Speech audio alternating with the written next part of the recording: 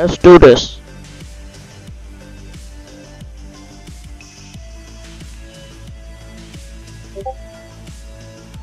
Who's pinging me at a time like this?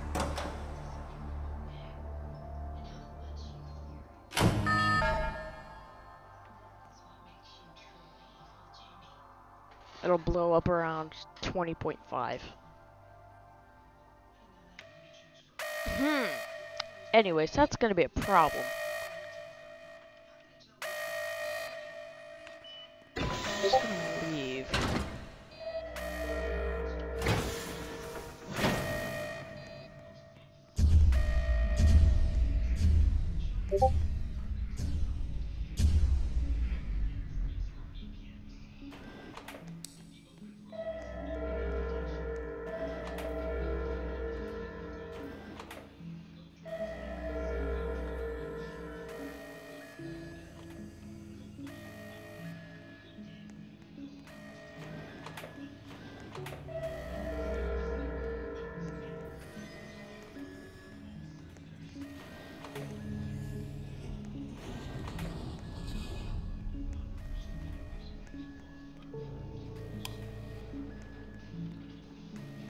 So everything's dark. And I'm gonna teach y'all how to activate the generators just for people who don't know. The generators are right here and here. You wanna activate the fuel supply.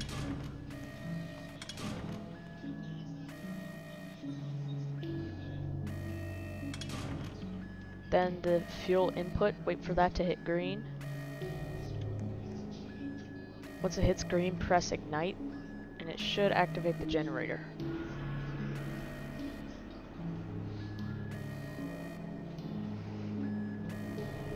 These generators are for light, basically. That's all they're for.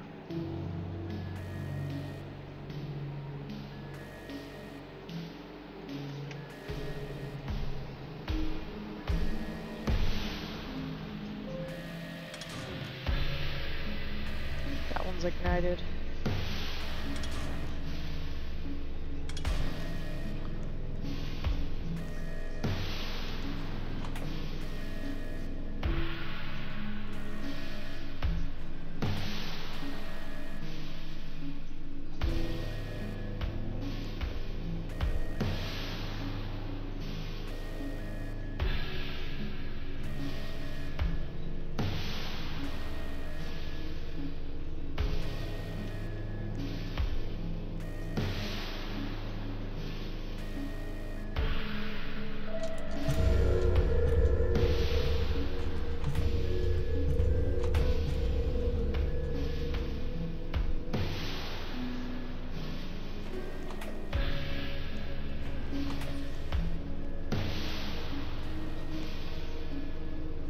This ending, in this self-destruct ending, you'll notice that, um, actually hang on, let me mute this because y'all probably can't hear me.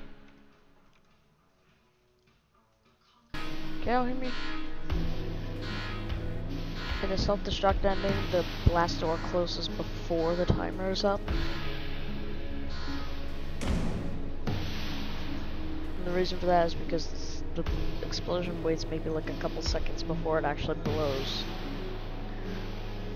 just a few.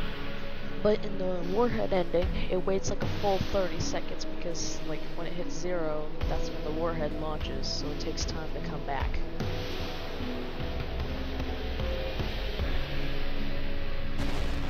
Kaboom!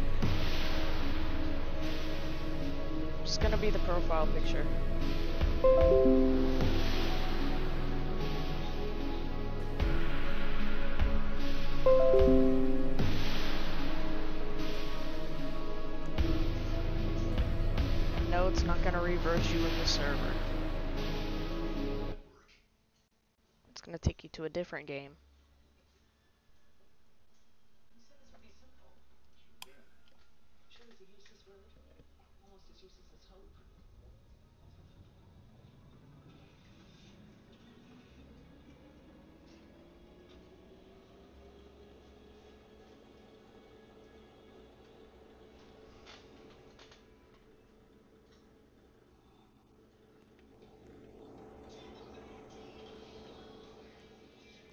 Just keep on waiting here. It'll happen eventually. You can play with the vent power.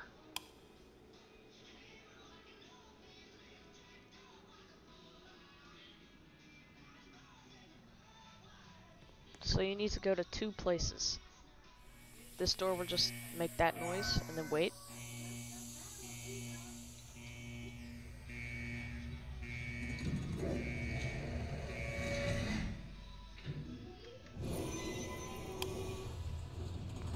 It'll start opening. If you look around, everything is destroyed. I mean everything. The elevator, the waiting area. If you go here, you can just break down the doors.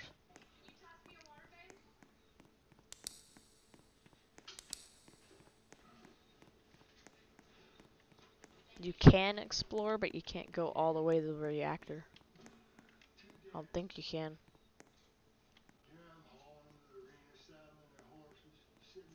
You can't see the backup generators though. For some reason they're turned off.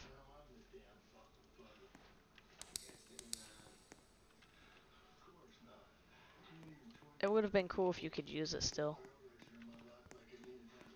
But th this isn't what you want to do.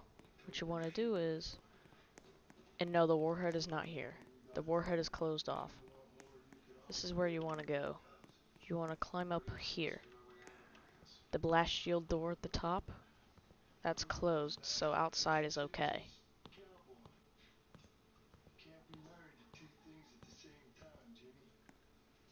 So if you see, Surface area blast shield. As soon as you walk this way, it's gonna open.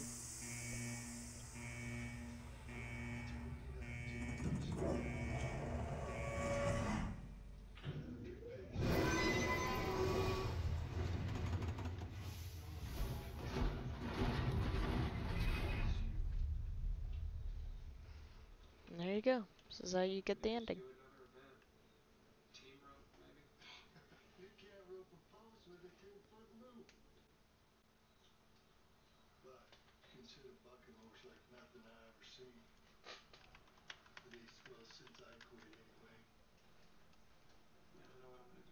For the real fans. No, it's not for the real fans.